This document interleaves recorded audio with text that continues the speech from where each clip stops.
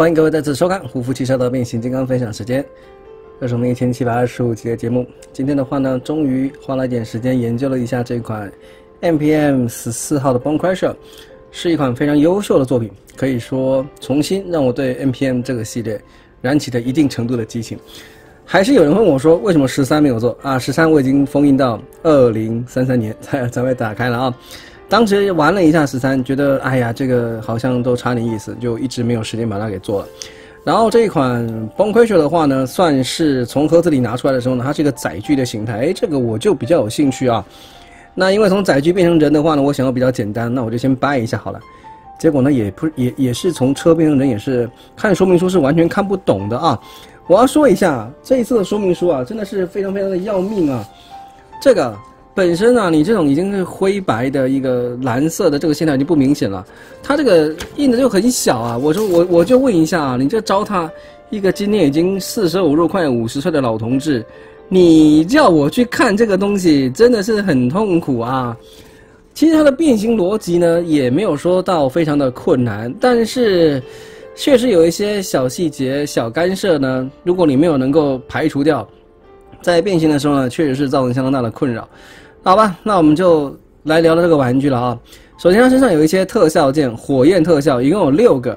我按它这样子，应该是不会有错了啊。就是在致敬到电影第一集里头，他撞碎了很多的车子之后，来到 OP 的面前送人头啊。哈，这个火焰，那卡槽的话呢，并不是很稳呢，有时候碰一下啊就掉了啊。为了方便展示呢，我们就把这些火焰特效呢都给拿下来。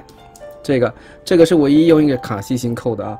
那我今天所使用的镜头的话呢，因为玩具比较大，我希望能够一次把它全部拍进去啊。我使用了一个稍微广角一点的镜头，所以玩具本身在边缘的，如果到一个边角的话呢，会稍微有一点变形，比例可能跟你所看到的会有一些些不一样啊。这个部分呢，就先跟各位啊简单的先说明一下了。从盒子里拿出来的时候呢，要注意到它的头顶上有这个两个支架下去。请注意，它这个要卡到这个轮子里头。再来是它的这一块部件，啊，这一块部件从这里从前面延伸过来这一块部件到这里的时候，它是有一个轮胎的一个缺口要卡进去，以及后面的爪子的替换呢，它其实是有这个是已经是张开的爪子，每一个爪子根部的话呢，啊，你可以看到这个独立一个根部，这里独立，那这两个是一起啊，它可以再做一些简单的调整。那它的话呢，有一个是比较是一个工整的耙子，我不建议各位常换了啊，因为我觉得这个磨耗有点快，所以我可能会一直的就是以这个张开的爪型来做一个分享。那因为张开的爪型，它的好处是说它比较呃看起来比较凶恶一些，只是为了这样啊，而且说在车型在下的话呢，你也可以当做它是把爪子都张开。Anyway，反正呢，我就是不建议大家换后面的爪子。那么它这个玩具很大很沉，重量的话也是非常的足。我们先看它有多大好了，这个是官方在推出这一款 MPM 十四号之前最大的崩溃球，就是它啊，对，Voyage Class 它是最大体型的了啊。这一次这样出来已经真的是嗯大了好几个等级了。两者造型上最大的不同是 MPM 还原到头顶的这个部件。这个在 CGI 里头是有的，但是以前的玩具呢，通通是没有，而且是直接就是一个车顶的一个啊车头在前方，然后身形比例的话呢，就非常的接近啊，都是一样，手臂啊特别的长啊，这一次的 MPM 的手的话呢，是做足了一个非常非常长的一个长度啊，然后呢，它的一个前方啊，这里有一个类似于这个裆部的造型啊，跟这一次也是很接近的啊，然后呃这一次的话呢，这里。它原本的这个玩具这边都有多出突出两块这个奇怪的东西啊，不是很清楚它的结构，但是在在这一次的 MPM 的话呢，它就把它做出了一个这样子的一个造型，嗯，这个说真的，如果不是 MPM 玩具做出来，我真的不知道说，崩溃就身上有这个东西啊，像是一个地球仪还是什么东西啊，而且还是金属部件啊，是是个非常非常妙的一个一个设计。那我也提过了啊。变形金刚的玩具有一个很大的功能，就是让我们看不清楚电影里头的形象呢。我们可以透过玩具呢来了解它的一个造型啊。当然，现在也不是每个玩具都很还原了啊。然后两手臂的话呢，我不确定我这里有没有变对，反正呢，我变起来这边就是会有一个缺口。你这个部件是翻上去的话，没有办法翻到底，只能够这样露出一个洞。那另外一侧的话呢，其实也是有露出一个洞的，只是说它这里的话，因为它的梯子收在这一侧，它只有一个梯子，所以这样放进去的时候呢，这个梯子反而填充了这个部分。那么它的一个这块部件，这块部件，呃，我我找不到可以扣的地方，应该是没有的扣吧，完全是靠着它有一点点齿轮的一个。呃，摩擦力度把它给扣在后面这里，然后后面的这个烟囱的话呢，你也可以按照自己的喜欢调整到一个你觉得 OK 的位置，但基本上他们并不并不太会去影响到它的玩具的一个可动了啊。那我们就继续看一些它的细节的话，轮胎啊上面是有一些啊污垢、脏污的一个痕迹，头部的话呢上面有一些干扫，各位不知道能不能够看得出来，它里面也是有点做旧的。它的造型的话呢，这个地方可以拉出来一点点啊，拉太出来就就走光了，可以拉出来一些的，表示说它的一个。脖子啊，假装它有脖子，那头很可爱啊，可以三六零度的一个转动，而它的一个头的话呢，是一个替换的一个面面罩的啊，替换的面罩，这个扣上去之后有点紧啊，打开的话呢，我是需要借助一点工具。那从盒子里拿出来的时候呢，其实它是这个样子的，它是没有脸的啊，我们可以自由去替换。你可以看到它的红色的眼珠子是镶在里头，本来就在里头的。那这个替换的面罩就是只有一侧。有一个眼珠子露出来，这个还是被被这个 Atmos 一拳揍下去之后呢，这眼珠凸出来，啊，但是呢，呃，我这个眼珠子凸出来之后的话呢，呃，会不会妨碍变形啊？我是不知道，反正变形的时候呢，我是会把它换回原来的一个面部，因为它这个地方会突出一块，啊，在变形的时候呢，可能会形成干涉啊，我就不试了啊。然后它的一个胸口可以看到这里，其实都有一些黄黄的。污垢，包括这边是银色的一个污垢，所以这个玩具本身它还是有做旧的，哦，自己自带一些涂装，OK，然后可动的话就给各位看一下，手臂有齿轮关节，耶，好高兴哦，平举也是有，还可以根部往上还可以再动一些，二头肌也可以转动，手肘啊也是有齿轮的一个手感的，手拳头可以三六零度的转动，然后这个地方拇指。啊的中间两个指头，两指共用一个关节，拇指跟小指共用一个关节，然后呢，脚前后踢啊，清脆的齿轮声音啊，外摆内收也是有的，变形的时候是需要用到的啊。然后这个脚趾头的话呢，也是有一个这个地方可以稍微去动一下。那对了，这里啊，这个这一根连接杆，呃，我记得从盒子里拿出的时候应该是。好像是没有扣上的，我们我们是不是要自己扣啊？反正你各各位自己记得一下。然后这个膝盖啊也是有一个齿轮关节的。那如此一来的话呢，我们就可以让 Bone Crusher 呢做出一个呃，就是一个比较向前浮仆的一个感觉啊。这个人物的话呢，本身还是感觉是比较比较会往前面冲的一个样子。它的一个后脚跟的话呢，是单独的一个独立的一个关节，我们就可以利用后脚跟啊，强而有力的后脚跟啊，做出一个更加有侵略性的战斗动作了啊。可以说是在把玩上的咔啦咔啦的手感呢，已经让人觉得很爽了。造型也做的相当的还原。涂装的话呢，这个人物本来就不太需要什么很很精细、很华丽的涂装，毕竟它本身是一个呃水牛装甲车。装甲车的话呢，就不太需要太华丽的涂装了啊。可以说在人形方面的表现呢，已经是达到了 OK，真的是有所谓的。嗯，masterpiece 就是大师级的表演了。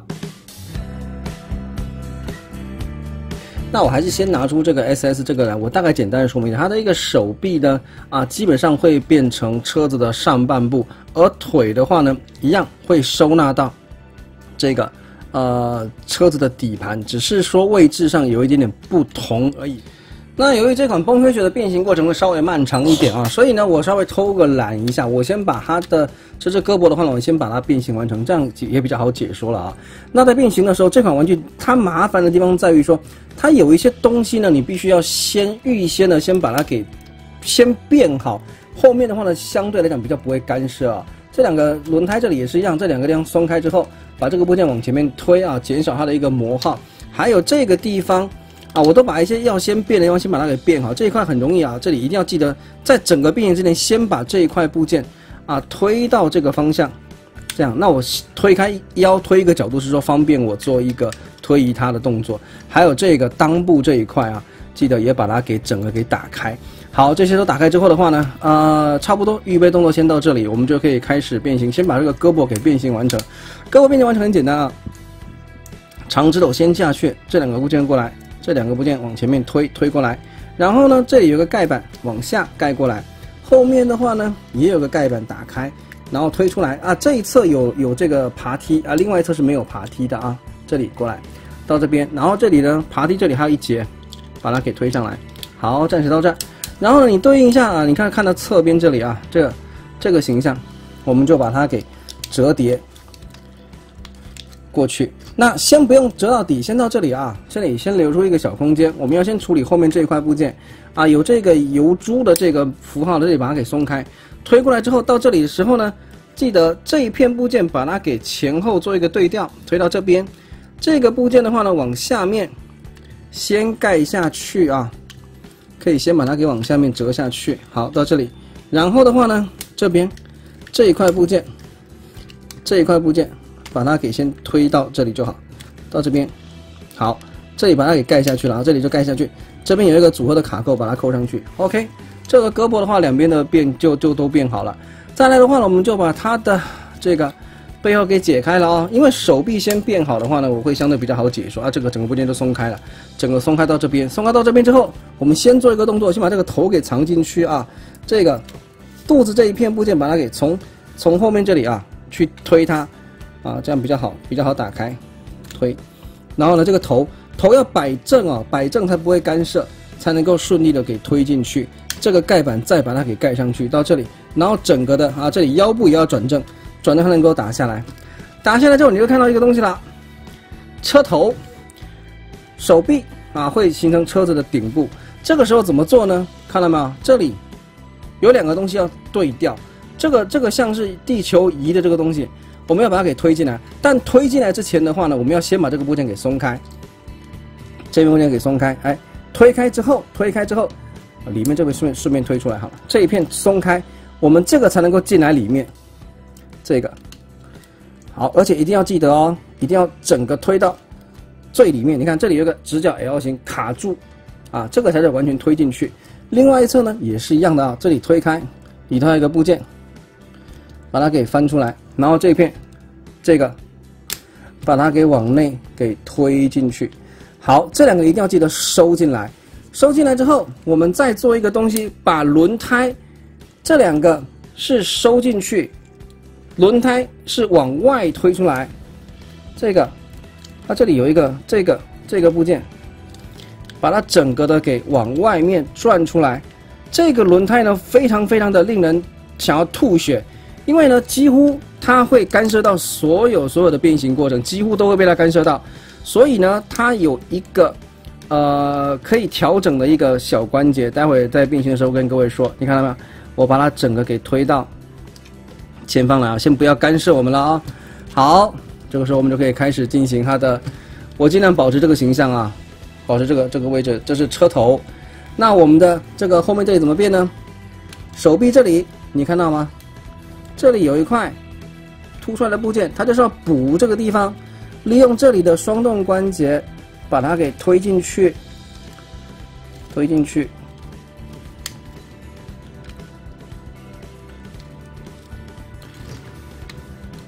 啊，反了吗？哦，是这样子，要转一圈再来补它。好，补进去了。然后呢，这个部件呢推上来。记得哦，这个地球这个东西已经推到内部去了，你看到吗？这样子过来，到这边调整一下，是不是这个车子的头这个造型是不是就出来了？然后这个原本包在这个轮胎上面的东西呢，轮胎往下推一点点，这个部件呢也把它往下面推一点点，这个部件就可以补过来了啊。到这里，这边稍微严丝合缝的去把它给拼装一下，这里。这里有一个凸要扣进里头，有一个凹，到这边把它给扣上去。然后呢，这块部件推出来之后，它就有一个黑色的凸跟啊，有一个黑色的凸对咖啡色的这个洞。后面这个部件往后面推，它这里有一个凸的造型，一个线位啊。我这里的话呢，是不是直接用塑胶的韧性把它掰过去啊。到这里好了，然后呢，你就看到了啊，这一边差不多都变完了。这里用哪里补？用这块补，这个转上去。推过来到这边，好，这个你看，这个就是我说的，它会干涉到几乎所有的变形，推上来，躲开就好了，对不对？所以这一片部件，你看，你可以这样子去调节它，啊，就是它挡到了谁，我们就是就是请它让开就可以了啊。然后这一侧把它给扣进去，好啦，车子的半边已经变完喽，对不对？好了，那换另外一侧了，对吧？来这一侧这一片部件转过来，这里推一百八十度推过来，好整个往上翻，然后呢内部啊这个部件记得。刚刚其实这个已经都已经翻出来了啊，转上来，到这里，这一片部件，你看这个轮胎严重的干涉到我们，我们就先请它下去，好，到这里，这个双动关节把它给推下去，然后后面这里，对吧？这里有一个凸跟它的一个结合，把它给扣上，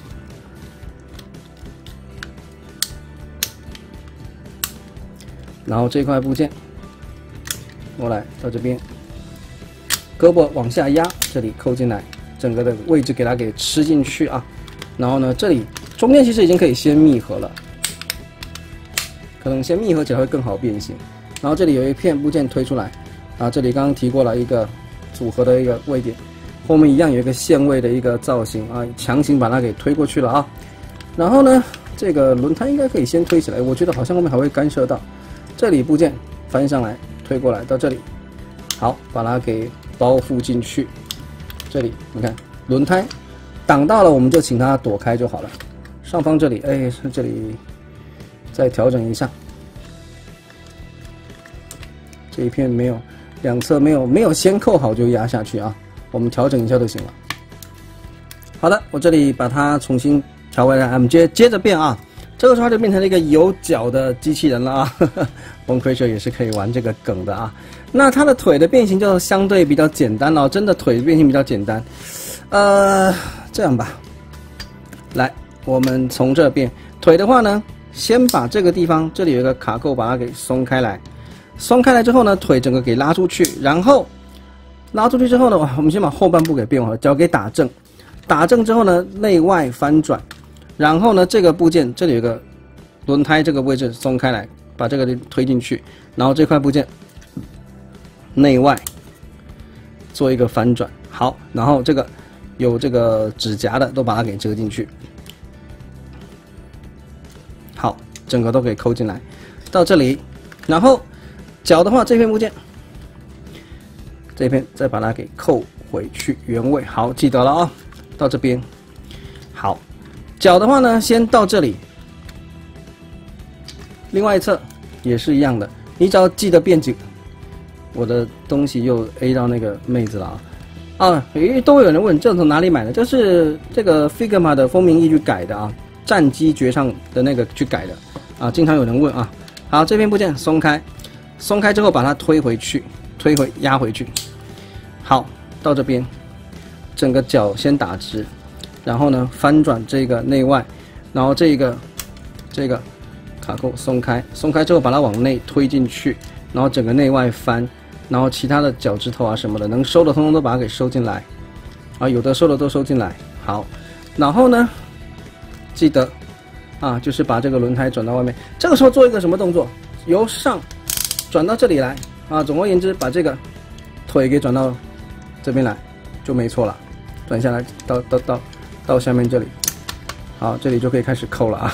不知不觉啊啊！对了，这两片部件下来之后，这个这两片部件很很妙啊！这两片这两块部件是崩溃时在人形状态下，它在扣在背后的那两片，那变成车型之后呢，它们两个一样依依不舍的，一样是扣在这里。好，那这个崩溃时这里一样，这个脚啊，记得从上过来，从下过不去啊！我记得是过不去的，不然你可以试一下，我记得过不去了。好，转过来，然后这个腿就这里过来，到这里有一个凸跟凹的结构，从这里扣进去。然后呢，这个轮胎嘛，对不对？这自然而然你就知道，一定转到外侧嘛。然后上面这里有一个卡扣，把它给扣上去就行了啊。然后两腿中间啊，也是有一个彼此也是有一个组合的一个位点的，我把它给扣上去，OK 吧？然后呢，这个，哎，这个部件忘了把它给推回去了，我把机位调低一点啊。那它变形其实也已经差不多了啊，这个地方这个斜斜的这个东西终于可以把它给按下去了，这边也是一样的，调整一下一个特定的角度，把它给按下去。然后呢，这个部件的话呢，它是把烟囱呢转到朝后方靠过来啊，它的一个排气口是朝这个方向。那最后的这个前方啊，这个部位的话呢，我记得是有一个卡扣，要先把它给松开啊。这啊，这个本来是人形状态下本来是扣这样子，这时候把它给松开。松开之后的话呢，我们把它给转到这个方向，然后往两侧分开。分开之后，把它往下面压下去，这样压下来。然后的话呢，就推开来两侧，顺势的话呢，把它给扣上去就可以了啊。然后侧边这里要稍微调整一下，还有一个可以卡住的一个一个关节。好，然后刚刚这个侧边这里，哦，我已经扣好了是吧？这个地方啊，就再检查一下这个卡扣啊什么的有没有都扣上去。啊，毕竟漏便的话呢，是我们节目的一个一个一个特产吧。这个每次不漏便的话呢，这个影片可能是别人录的啊。好啦，那应该是哎，这个把它给往下推一点。好了，那么这个的话呢，啊，对，这个这个这个这个耙子的话呢，还没整理好啊，我们把它给扣起来。那我已经提过了啊，这个耙子的部分呢，啊，我是不太建议你经常换了啊，不太建议经常换。那转到一个往后的角，它前后的角度呢是固定的啊，就是你可以转到这样。OK 了，我们这一款这个 NPM 十四号的 Bone Crusher 呢，终于完成了它从机器人到载具的一个变形过程了。载具形态呢是一台水牛扫雷车，大家都。没有什么机会看到了，现实中我们几乎是不太有可能看到的啊。然后呢，它的备胎在侧边。那我在做那个前前一集这个 Legion 级的 Bone Crusher 的时候呢，我有抱怨到说啊，真正的扫雷车啊这一块部件凸出来是一个严重的一个大忌啊。那这个是 SS 的一个模具，你看到吗？它的这个地方是要斜斜的一个角度这样子的啊。你这边多这一块的话呢，万一地雷爆炸的时候呢，翻车的几率呢是比较高的。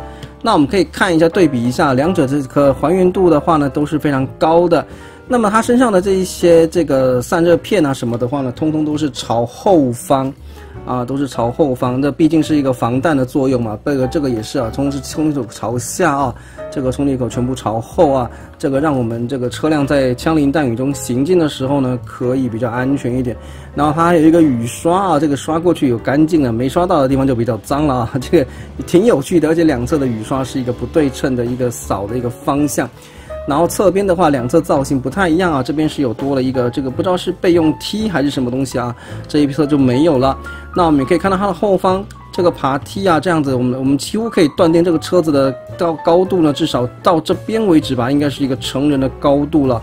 那这个地方这里没有的卡住啊，是比较可惜一点，但是也还好了，毕竟我们不太会去，不太会去动到这个地方。上面有个警示灯，是一个透明部件啊，不对，是两个警示灯，前后都有啊。车子的滚动性呢是非常好的，然后推起来的一个手感，这个重量感真的是相当相当的十足啊。那玻璃的话也都是一个透明的一个部件。这个扫，对不起，我我我我我东西一伸长就扫雷爬的话，就爬上去的话就非常的长啊。那这个这个玩这个扫雷爬的话，就大家自己去自由去发挥了。这个支撑力度的话呢，还可以啊。你看，这个长度还能有这样子的支撑力度，也不愧是所谓的大师级别了啊。